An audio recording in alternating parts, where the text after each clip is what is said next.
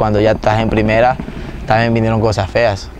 Cosas feas, como cuando en el 2010 estábamos en Quito, yo en primera, me bajaron a reserva, tres meses.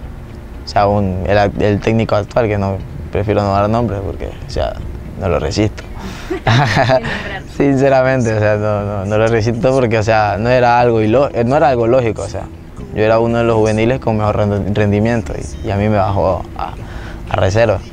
Cambiaron de técnico, vino Insúa, yo estaba acá en Guayaquil y cosas de la vida, casi algo prácticamente igual. Perseverancia, primordial para todos los que están escuchando, hay que tener perseverancia y paciencia. Llegó esa persona, yo entrenando en reserva, o sea, un jugador cuando está en primera, tiene un año y medio en primera y lo bajan a reserva de nuevo, el cambio es radical. O sea, la ropa, los pupos, o sea, en primera te tienen todo arreglado, o sea, el cambio es radical arriba, o sea.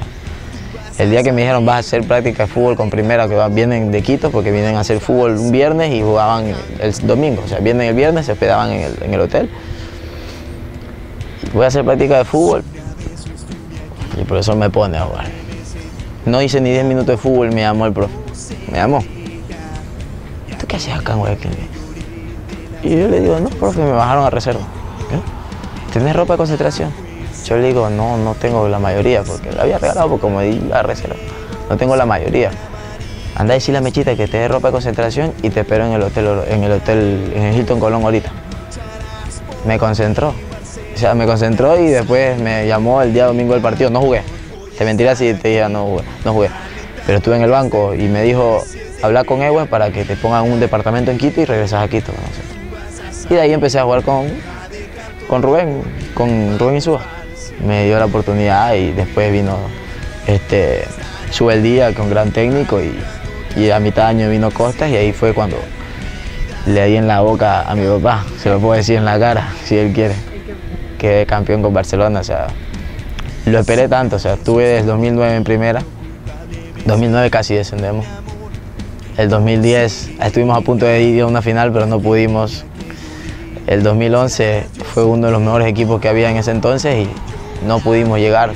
A lo último aflojamos con Liga de Quito un partido. Y el 2012 cuando, cuando quedamos campeones, había hecho una promesa siquiera de ocho meses, ocho meses, de que si había un cumpleaños de alguien, yo no iba a ir. Que si era el cumpleaños de una tía, yo no iba a ir.